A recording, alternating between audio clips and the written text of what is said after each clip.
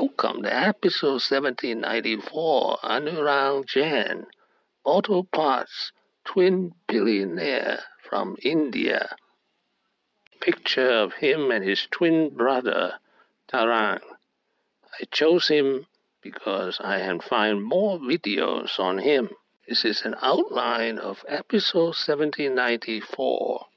The first 10 years, uh, we were very busy overcoming a lot of hurdles and trying, trying to establish ourselves. So I would say between 1985 to uh, 1994, we really faced some tough times. But I would say these years were also great learning years for us. 1986 to 2002, the identical twins worked together. They split in 2002. Learned that it's very important to be in the proprietary business. That's a business where you have your own know how, where you can sell in the aftermarket, create a brand for yourself. And this is what we did that from 1995 onwards, we got into the suspension, transmission, and braking business. Because till then, the die casting business was non, non proprietary, where the know how was mainly from the OEM clients. He was born in Aurangabad, Maharashtra, India 1962. By education, he graduated from Sydenham College and later earned an MBA from the University of Pittsburgh. First opportunity came through the twin brothers at the age of 21 from their rich uncle. He gave a supply of critical aluminium components for Bajaj Auto in Aurangabad. And that's where my journey as a businessman started. This picture of their rich uncle.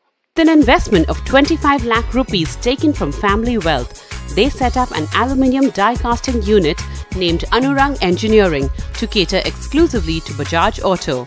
The unit was set up in Aurangabad to take advantage of the backward region incentives offered by the Maharashtra government. Took his company Endurance Tech IPO in 2016. Today, Endurance Tech has 18 factories in India and 9 factories in Europe mostly in Germany and Italy.